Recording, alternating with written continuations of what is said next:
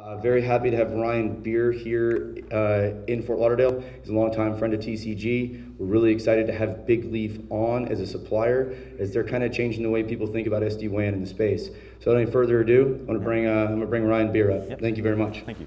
Thanks. Appreciate it. Thanks, it, man. man. Yep, thank you. All right. I was told that this is the mic. Okay, there we go. All right. Yeah, Ryan Beer. Uh, I support the Southeast out of Charlotte, North Carolina, and Big Leaf's actually headquartered out of uh, Portland, Oregon. So I support the East Coast and part of the Southeast for them. Um, so if you have any questions as we're going along, feel free to stop me, or we can save them for the end too, however, however you guys want to do it. So go ahead and jump in. Okay. So our focus really around SD-WAN in this space, and, and for many people that don't know what SD-WAN is, we can start off there. It's, it's software-defined wide area networking. So rerouting of applications around internet issues that are happening on circuits. So from, from a high level, that's really what it is, is freely moving applications like hosted VoIP, Office 365, Salesforce uh, around intermittent network issues that are happening on circuits. So our focus around SD-WAN is a little bit niched in the space, a little bit different. So uh, giving our customers the ability to use multiple different internet connections of any type. Uh, so we're aggregating those connections together through our device, whether that's fiber and coax or DSL and, and uh, wire, wireless or coax as the primary circuit. It doesn't matter to us, um, but now giving the ability to load balance or share that important traffic across those applications. So if that, I mean, across those circuits. So um, important traffic meaning things like hosted VoIP, Office 365, Salesforce, um, really sensitive applications that are having issues over the internet where packet loss, latency, jitter, these type of brownout situations are, are really affecting how applications perform and, and affecting the end user experience. So what we're doing is giving the customer the ability to use these commodity-based internet circuits, aggregating them together through our device, and us load balancing that traffic across those multiple internet connections. So if one connection were to fail, that hosted VoIP call isn't going down. If that circuit were to degrade with packet loss, that hosted VoIP call or that Office 365 session can move over, move around that issue, fail over around that issue in real time. So from a high level, that, that's really what SD-WAN is doing, specifically Big Leaf, is giving the ability to use any type of internet connection you want, plugging them into a, an SD-WAN appliance, which is our Big Leaf router on site, and sharing that important traffic across those multiple internet circuits.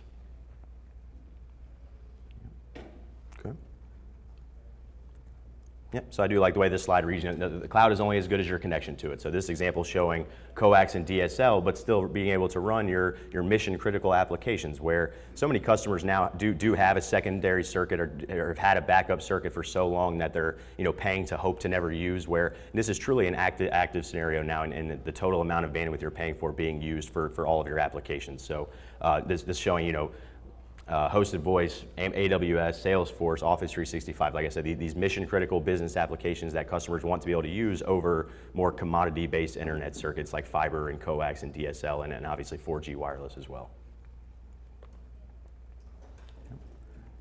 So what, this slide is showing, this is pretty important. I really want to hit on a couple things here. So on the left side of the screen where you see where it says Big Leaf Router and, and Firewall, that, that's really our single biggest differentiator in this space is that we are always dedicated to deploying outside of an existing firewall.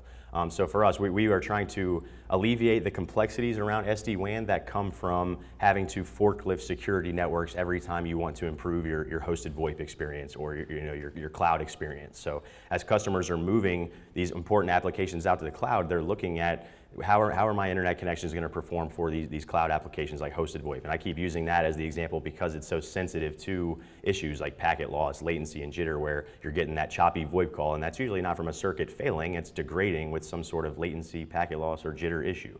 Um, so our focus around security is to provide that reliability for your cloud applications without the complexities of having to take over your security network. Um, so for us, that, that's really our strategic focus in this space is being outside the firewall, on the WAN side of the firewall, and really have worked with any type of, of appliance today, where it, whether it's Fortinet, Juniper, Palo Alto, Cisco, Barracuda, I mean, really have seen all of them at this point. So we, we are completely transparent to that security outside the firewall, but providing that cloud reliability without the complexities that come from us trying to, to take over the customer security network every time to do that. So a little bit different in the space where there are a lot of SD-WAN providers that do want to take ownership of the security, and, and that, that's just where we are a little bit different in the space and somewhat niched in that if there's an existing security solution in place, we don't have to touch that in any way to improve your VoIP, your Office 365, your, your, your mission critical applications.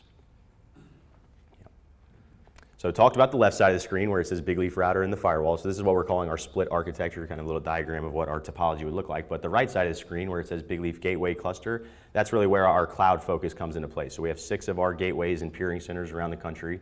Um, so we're in Atlanta, Chicago, New York, da Dallas, Seattle, and LA, uh, where we have direct peering with hundreds of different content providers. So hosted, 100 different hosted VoIP providers, Amazon for AWS, Microsoft for Office 365, and Azure. Um, so kind of giving that us that agnostic approach to whatever cloud application the customer is looking to use, but providing that reliability over whatever internet connections they want to use as well. So, and like I said, I keep using hosted VoIP as, as, the example. That, that's really our single biggest driver in this space is hosted VoIP, is providing that, uh, that clean call experience regardless of one of your internet connections failing with packet loss or going down completely. And I'll talk about that in a little bit more depth in a second. Yep, so there's a snapshot of where, where our gateways are. So st very strategic and frankly very uh, expensive investments for us to make to have direct peering with those major providers like Amazon and Microsoft and all the major hosted VoIP providers, Google. Um, so, and here's just some of the, the names there where we do have some of the direct peering. Obviously not all of them, but just showing that those data centers were giving us the advantage of having the direct peering with these major providers. All right, so I'm going to kind of go into a couple features that kind of or, uh, highlight where our focus around hosted VoIP and, and, really these cloud applications come, even to the point where we're seeing it now where we, you know, partners have put us as a line item on their VoIP quotes, where they're not selling a VoIP solution without us as the almost as the, as the insurance policy to make sure that that VoIP is going to work regardless of one of their internet connections going down. Um, so what this is explaining is our, our, same IP failover. So out of those gateways that I was just talking about around the country, we're actually issuing new public IP addresses to the customers.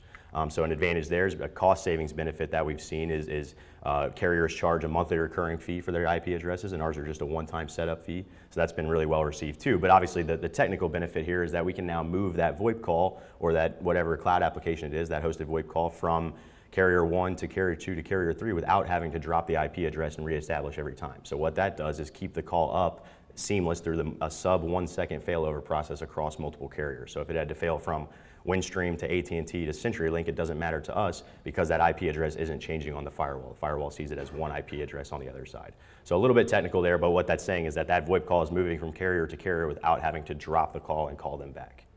Yeah, yeah sure.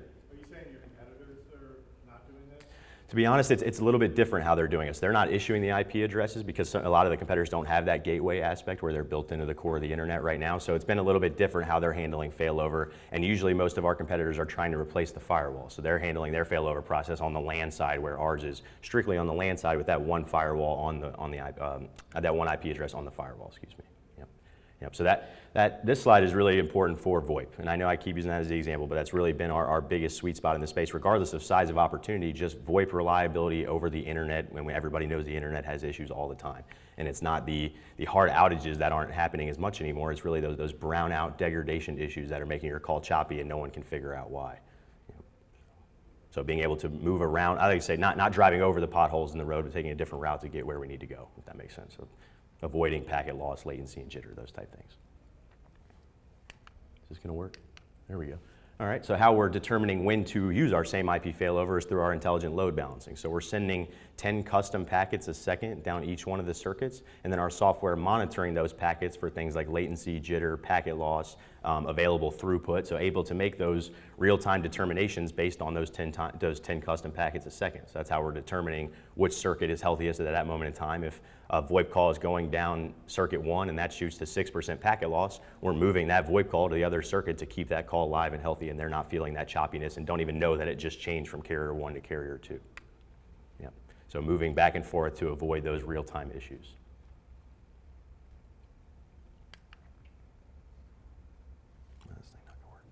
All right. So the, the dynamic QoS piece of this that I want to talk about. So our, our bookends of the equation is not, not a, a, router on one site and a router on the other site. It's router on site talking to our, our gateway network where, we, we're built with those, have the direct peering with those cloud applications. So what this is showing is our really our bi-directional QoS because we have end-to-end -end control of those cloud applications. So we're not letting it hit the public internet where it will get affected by packet loss. We have complete control making sure that we can protect and, and move around that traffic because of us uh, issuing that one IP address onto the, onto the uh, firewall. So the, the second point on here I wanted to point out is dynamically adapting to variable throughput. So that's really important for honoring QoS over circuits like coax and still being able to provide a good VoIP experience over coax. Um, where that, that 100 meg coax circuit might be performing at 70 megs at 3 in the afternoon, we're not still sending 100 megs of traffic down that circuit. We're only going to send as much as it can hold at that moment in time. So sending those 10 custom packets a second determining how much bandwidth that circuit can hold at that single second in that moment of time and only sending as much as it can hold.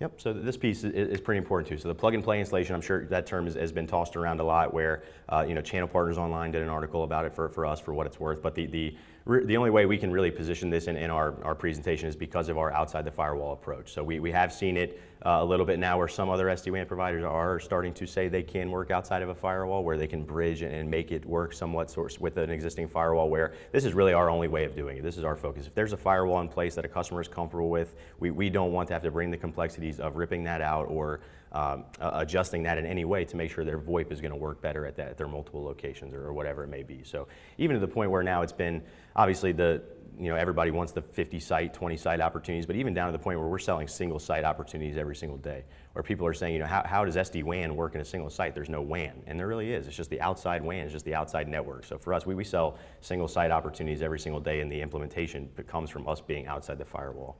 So when we uh, we get a signed order, we send out a circuit detail request, so we're gathering that circuit information on the front end and we're pre-configuring that device based on those circuit details. So when it arrives on site, they're plugging in their two circuits or however many they have, we hold up to four. Uh, so plugging in their two circuits, typing in their new IP address and they're ready to go. And, and that, that ease of implementation comes from us not having to breach the, the firewall or the security in any way. So I keep hitting on that part, but that's really, really our differentiator in this space. So I want to make sure that that's, that's coming across pretty clearly.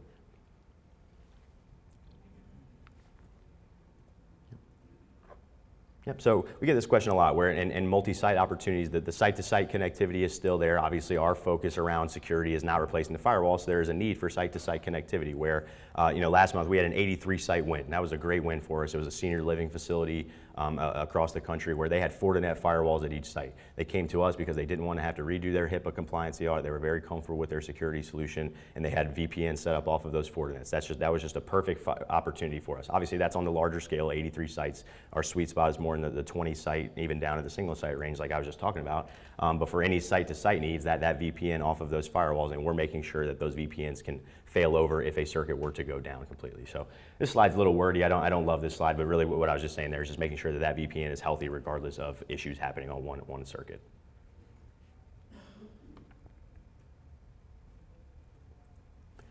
Okay, so this is a, snapshot of what our, our, dashboard looks like or our portal. So our partners, you got you guys and, and your customers will be able to see uh, all of your locations and all of your circuits from one central dashboard. So being able to monitor those circuits, see how they're performing, bandwidth utilization, uh, packet loss, latency, jitter, really, really granular detail into what your applications are doing and what your circuits are performing like, but being able to provide uh, ongoing support or really tier one support based on these metrics. So if you're logging in or you're getting a, an email alert from us that one of your circuits went down, we really want to be the first call. This is a, a fully managed service. We have a 24 by 7 US based support team. Uh, SD-WAN being our only product, so obviously this is our, our very, very focused space here where supporting customer networks and, and really the issues we're fielding all the time are circuit issues or my VoIP call went choppy, can you help me nail down where this packet loss issue was or something like that. Even to the point where uh, we're, we're, staying on the phone with them while they call their carrier to help them through that issue. So really acting as that, that tier one support uh, for anything that, that may be happening in their network.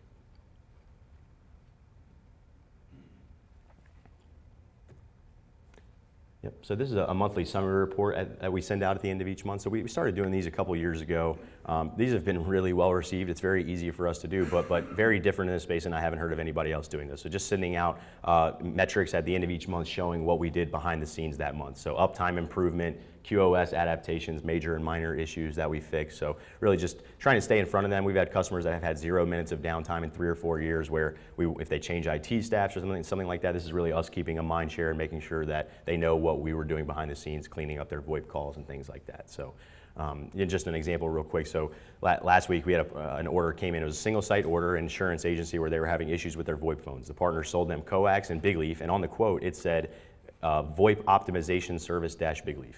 And I thought that was the coolest thing I'd seen because they were taking away some of the fluff buzzword around SD-WAN and really just getting down to what the benefit was for that exact client. And we were just a line item on that quote. Here's your VoIP protection. You don't have to take it, but this is going to protect your VoIP over your multiple circuits. And we thought that was just a, a great example there and how we're positioned. So not, not to niche ourselves into single site opportunities, but that was just a great fit. And obviously everybody does have those type of opportunities. So I can talk about pricing in a second. I'm happy to go into that, but I want to see if there were any questions before talking about the pricing piece or any questions about the, the outside the firewall part of that. So pretty straightforward, obviously, and it's okay if there's no questions, but the, the, the security piece, you'll, you'll get into that as you're talking about SD-WAN a little bit. I mean, just asking, you know, what, what does your security environment look like? And obviously, there, there are so many great security providers. Uh, You're going to hear from SiteLock in a minute, where we've done uh, some similar opportunities, not specific with SiteLock, but specific opportunities where they have a cloud-based firewall that you're going to hear about. So for us, we would put a little router device on site and VPN to a cloud-based firewall, and uh, we can hear about that a little bit more in a minute. So, but yeah, sure, go ahead. Uh, What's the process or a customer wants to get one, one of um, the SD-WAN? Appliances, yeah. You're Mhm. shipping it and the customer has to have an IT person Mm-hmm. set it up or I'll go back. have people that do it? That's a good question. So we are, that's exactly right. So we're pre-configuring the device, shipping it out directly to the customer. Because we're not replacing that firewall, it's a five to 10 minute self-install for the customer. So our support team can be there to stay on the phone to handhold through that process with you guys as the partner or the customer, but very, very straightforward and, and have had minimal issues with those implementations. Really, the only extent of the legwork is, is typing that IP address on the firewall. So who- somebody has to remote into the firewall or something like that. That's really the, the extent of that. Yeah. Mm-hmm. When the customer says you need someone, you guys facilitate that? So to be honest, I've never gotten that question. So it's either the partner doing. it. We've had general managers at pizza shops been able to do it. Someone will remote into the firewall or something like that. So that, that ease of implementation is really our, our focus in this space. So Obviously, if it was a large opportunity or something like that, we you know black box is one that we've worked with for a larger opportunity for, for some of those rollouts. But um, yeah, not very very unnecessary most of the time, I would say. Yeah. And, and from a proof of concept standpoint, we get that question a lot. You know, how, how are you approaching this as a, as a new technology? So we can do a 30 or 60 day free trial, um, depending on how large the opportunity is. So just trying to be flexible there in terms of everybody being comfortable selling a new technology and making sure it's going to work in their environment. So happy to offer that as well. Okay. Go ahead and talk about pricing just real quick, touch on it. But we can, I can send this to you guys after too, so, no worries on that. But um, just on the left side of the screen, these, these are our, our, our sizing packages. So what we're supporting through our device is these speeds. So um, a lot of times we'll get the question, well, my customer has a total amount of bandwidth of you know, 120 over 20. You know, maybe one of their circuits is coax, coax or something like that. That customer could go with our 50 by 50 package, knowing that they're going to be rate limited a little bit on the download. They have plenty of room on the upload. So just understanding that it's not mandatory to match it up with whatever big leaf package you see here, just about the amount of bandwidth that you think your customer needs to put through our device. Yeah, so those are the different packages there. These, this is our single site retail pricing. Anything above five-ish locations, we can get pretty aggressive on our, on our volume discounting. So um, keep that in mind as well. But yeah, this, is our single site pricing and then the, the redundancy options in the bottom right for a, a second active big leaf device and, and two switches to manage those. Yes, sir. Real quick, I'm seeing your thirty day, um, money back, great, rock and roll, that's wonderful. Mhm. I'm seeing your twelve month term. Um, ultimately, uh, is there any incentive if the client were to sign for, say, a three, a five, five, et cetera? Um, in the sense of pricing, in the sense of period? Yeah, so on our single site deals, it's, it's really not the length of the term, it's about the volume of the opportunity. So uh, for, for us, our standard is 12 months, so if they wanted to do a 24 or 36 to match it up with their circuits or something like that, if they had one single site, there, there would be no cost break on, on that, unfortunately. But the, the cost break comes for, uh, uh, for us comes from volume, so five, four or five plus locations usually. That makes Yep. that you answer my question, in the sense of, would there be any incentive for the client to sign longer? Would it retain the price for the client? Is there any benefit to that? Okay, that's a good question. Yeah, so mhm, yeah, so if we changed our pricing or something like that, that would lock them into that 36 month pricing. Exactly right. But they're not getting a, a cheaper price for, for getting a 36 month. Yes, sir. Let, um, all I'm just trying to ask is, what are the benefits of trying to get them in for a longer term? Mhm. Now, there's no way you're gonna waive your setup, no matter what day of the week it is, no matter if they're one or five, year contract, correct? That's correct. You. Mhm. That's correct. Yep. Anything above five plus locations, yes, that would be the, the answer would be yes to that question. Yep. Yep. Mhm. Yep. So the IP address pricing in the top right, but um, yes, that, that was really it. If anybody has any questions for me after the fact, I'm happy to answer. I just wanted to, the, the outside the firewall deployment and the focus around your cloud applications. That, that's really our, our, our success in this space right now. So I appreciate everybody's time. Thanks for having me in.